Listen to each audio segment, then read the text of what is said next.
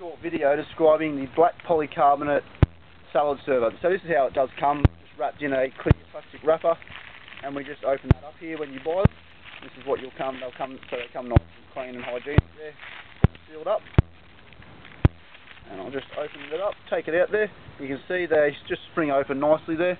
Plastic, nice formed, moulded plastic, good quality polycarbonate.